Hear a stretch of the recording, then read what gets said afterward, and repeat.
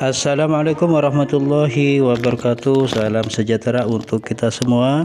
Dan semoga kita semua selalu di dalam keadaan sehat walafiat uh, Dan juga diberikan uh, tambahan rizki Dan juga kesehatan dari Allah subhanahu wa ta'ala. Amin amin ya rabbal alamin. Dan pada kesempatan kali ini saya akan memberikan tutorial uh, bagaimana cara kita membuat eh, POC dari tape teman-teman? Kemudian eh, POC dari tape ini bisa pula digunakan untuk mol teman-teman. Mol uh, atau mikroorganisme lokal teman-teman. Jadi manfaat dari pembuatan POC uh, dari tape ini sangat banyak sekali manfaat yang terkandung di dalamnya kemudian untuk langkah pertama kita akan masukkan tape ini sebanyak uh, kurang lebih satu on teman-teman. Kurang lebih satu on kemudian ini akan kita campurkan dengan air cucian beras. Ini satu on teman-teman. Yang kemudian kita akan tuangkan air cucian beras sebanyak kurang lebih 600 ml teman-teman jadi kelebihan dari uh, eh, POC dari tape ini bisa kita pergunakan untuk uh, mol teman-teman. Sehingga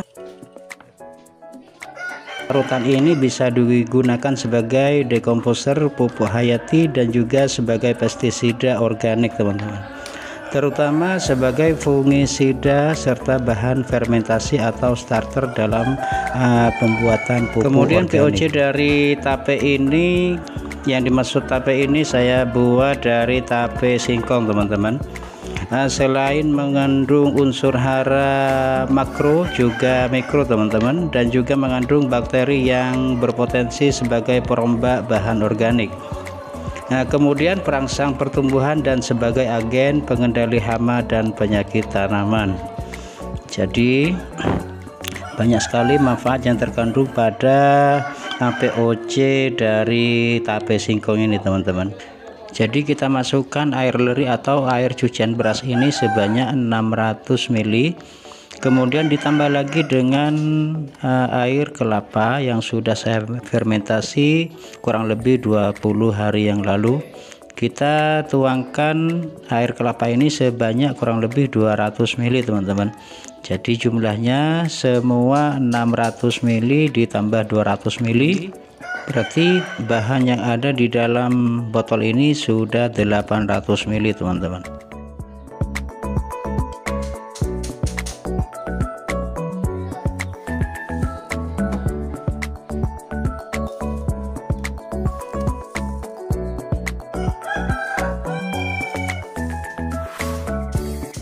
kemudian kita tambahkan uh, gula gula pasir sebanyak 3 sendok makan teman-teman.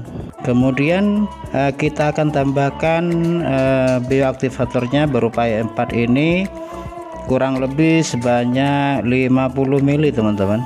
Jadi cara pembuatan POC dari tape ini uh, cukup mudah sekali teman-teman uh, untuk kita lakukan dan tidak memerlukan keahlian khusus untuk mengetahui cara membuat mol atau POC dari tape ini simak video ini dari awal sampai akhir jadi jangan di skip teman-teman kemudian kita lanjut pada bahan yang kelima yaitu kita uh, berikan tambahan uh, eh, PSB teman-teman atau fotosintetik bakteri bakteria sebanyak kurang lebih 50 ml teman-teman. Kita tambahkan PSB ini sebanyak kurang lebih 50 ml jadi bahan-bahan yang terkandung di dalam pembuatan POC uh, dari tape ini sangatlah lengkap sekali dan kita barusan telah menambahkan tambahan bakteri yaitu bakteri fotosintetik bakteri atau PSP teman-teman. Kemudian langkah selanjutnya kita kocok-kocok sehingga bahan-bahan yang ada di dalam uh, botol ini uh, tercampur secara merata dan homogen teman-teman jadi caranya sangat mudah sekali untuk pembuatan POC atau pembuatan mold dari tape ini teman-teman. Kemudian yang terakhir kita kasih eh, tulisan seperti ini bertujuan agar tidak bercampur dengan pupuk atau obat-obatan yang lain yang telah kita buat teman-teman kemudian untuk proses fermentasinya kita diamkan atau kita letakkan cairan atau larutan ini di tempat yang teduh terhindar dari sinar matahari selama uh, satu minggu sampai 10 hari teman-teman. Kemudian sudah bisa diaplikasikan ke tanaman kita tapi jangan lupa setiap harinya kita harus buka tutup uh, botol ini agar supaya gas yang berada di dalam botol uh, bisa keluar teman-teman. Kemudian untuk dosisnya kita pergunakan satu banding 10 teman-teman. Artinya POC kita memakai 100 ml kemudian airnya kita memakai 1 liter atau 1 liter POC air bersihnya memakai eh, 10 liter teman-teman. Itu artinya 1 banding 10 terima kasih telah menonton video ini. Semoga bermanfaat untuk kita semua. Wassalamualaikum warahmatullahi wabarakatuh